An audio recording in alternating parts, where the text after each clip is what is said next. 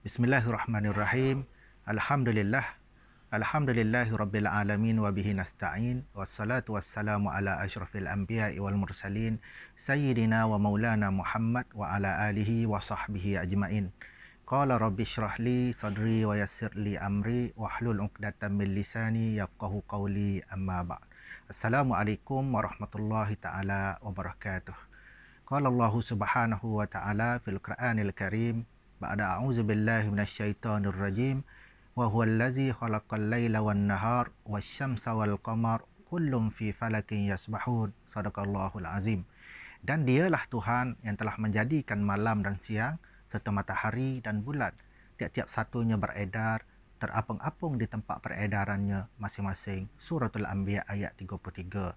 Tuan-tuan dan puan para uh, sahabat yang dikasihi sekalian, saya ingin berkongsi kepada tuan-tuan perempuan pada hari ini insya-Allah berkaitan dengan satu fenomena yang kita akan saksikan yang akan berlaku pada 8 November 2022 bersamaan dengan 13 Rabiul Akhir 1444. Tuan-tuan perempuan, pada tarikh berkenaan 8 November kita akan saksikan satu fenomena gerhana bulan yang akan berlaku uh, pada tarikh tersebut yang mana kita akan bahagikan kepada dua tiga fasa iaitu yang pertama gerhana ini akan bermula berlaku pada 4.2 minit petang iaitu fasa yang kita namakan sebagai fasa penumbra. Fasa penumbra ni ialah uh, fasa di mana gerhana itu mula berlaku dan pada jam 5.9 minit petang fasa yang kedua iaitu fasa separa bulan akan kelihatan separa dan yang ketiganya fasa penuh iaitu pada 6.16 petang. Iaitu antara perempuan sebagaimana yang kita maklum bila bulan purnama dia uh, dalam keadaan tidak gerhana kita akan nampak bulan itu bulat dan uh, terang. Tapi bagi uh, gerhana bulan purnama tadi akan terbias akan uh, terselindung uh, cahayanya akan menyebabkan keseluruhannya uh, berkeadaan gelap. Dan yang keduanya dia akan beransur-ansur pergi kepada separa iaitu bulan akan kelihatan separuh dan yang ketiga dia akan beransur-ansur apa ni penuh iaitu pada 6.16 petang. Cuma bagi kita yang berada di Malaysia ni uh, pada masa berkenaan, pada waktu berkenaan kita tidak akan kelihatan kerana apa? Kerana bulan belum lagi terbit. Bermakna sebelum matahari terbenam, bulan tidak akan kelihatan. Iaitu yang kita akan dapat saksikan sebenarnya adalah pada 6.57 uh, minit petang iaitu ketika bulan mula terbit. Dan kemuncak gerhana dapat kita saksikan pada hari uh, uh, 8 November lah pada 6.59 minit petang. Jadi tuan-tuan dan perempuan, apa yang dapat kita lakukan pada hari berkenaan sebagaimana disabda oleh Nabi sallallahu alaihi wasallam ialah kita boleh uh, mengadakan solat gerhana yang dianjurkan oleh Nabi sallallahu alaihi wasallam, kita banyakkan zikir dan kita berselawat dan beberapa perkara-perkara yang dapat kita lakukan sempena mengambil kira fenomena yang berlaku pada pada hari kejadian.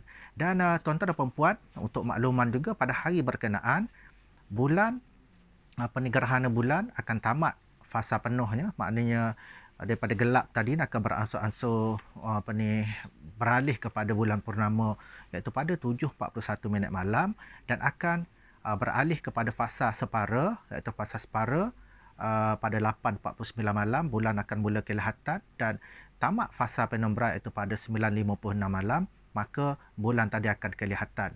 Jadi tuan-tuan dan puan apa yang kita dapat uh, saksikan ialah uh, pada hari berkenaan kebesaran Allah taala Allah tunjukkan kepada kita yang pertama untuk nak mengajar kita betapa ilmu Allah taala ni maha luas dan yang kedua untuk memberikan kita uh, merasai betapa keagungan Allah taala yang menciptakan langit dan bumi ini yang mana bulan ini berada uh, dalam keadaan beredar. Bukan setakat beredar berada terapung yang mana tidak ada pasak tidak ada tiang dan sebagainya dan pada hari yang berkenaan bagi masyarakat negeri Kelantan dianjurkan bermula dengan uh, waktu maghrib sehinggalah isyak disunatkan kepada kita untuk melakukan solat maghrib, uh, solat sunat gerhana dan uh, bagi mereka yang terlepas mungkin ada yang uh, ada komitmen dan sebagainya uh, jangan risau kenapa sebelum uh, jam 8.49 malam masih lagi dibolehkan untuk kita sembahyang ataupun kita solat sunat gerhana. Jadi uh, tuan-tuan uh, saya nak kongsikan sekali lagi antara beberapa fakta yang mungkin kita boleh ambil kita boleh take note pada hari ini itu yang pertama bermula fasa penumbra ni adalah pada jam 4.2 petang dan uh, akan berangsur ke fasa separa pada jam 5.09 minit petang dan akan uh, berkeadaan fasa penuh pada 6.16 petang. Cuma pada ketika ini kita tidak akan melihat fenomena ini kenapa masa matahari masih lagi ada dan bulan belum lagi terbit. Dan uh, untuk makluman juga bulan akan mula terbit pada 8 November iaitu pada jam 6.57 minit petang dan uh, kemuncak gerhana dapat kita saksikan pada hari berkenaan.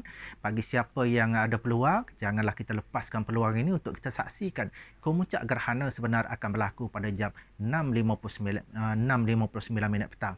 Dan uh, sebagaimana yang saya sebutkan tadi uh, kita disunatkan bermula dengan uh, waktu maghrib sehingga waktu isyak kita sunatkan untuk di uh, apa ni solat gerhana. Dan uh, bagi yang tidak mempunyai masa ataupun ada komitmen yang lain jangan kita uh, risau. Kenapa?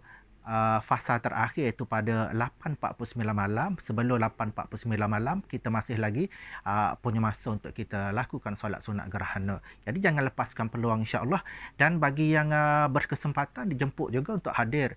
Beramai-ramai dia perkarangan Masjid uh, Mukim Melawi dan juga di Pantai Melawi.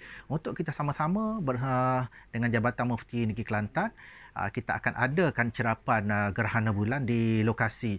Mana tuan-tuan rakan sahabat yang berada berdekatan ataupun di mana sahaja yang berpeluang yang ada ke lapangan masa hadirlah beramai-ramai insya-Allah dapat kita saksikan. Uh, secara dekat secara detail dan sama-sama juga pada hari berkenaan kita ada uh, slot ceramah berkaitan dengan fenomena gerhana bulan. Kerana sekian sahaja daripada saya sebagai perkongsian untuk pada hari ini. Uh, jangan lupa untuk sama-sama kita kongsikan uh, bingkisan ini supaya rakan sahabat yang berada di luar sana dapat mengetahui info dan kita tidak terlepas iaitu fenomena gerhana bulan pada 8 November 2022 bersamaan dengan 13 Rabiul Akhir 1444. Assalamualaikum warahmatullahi wabarakatuh.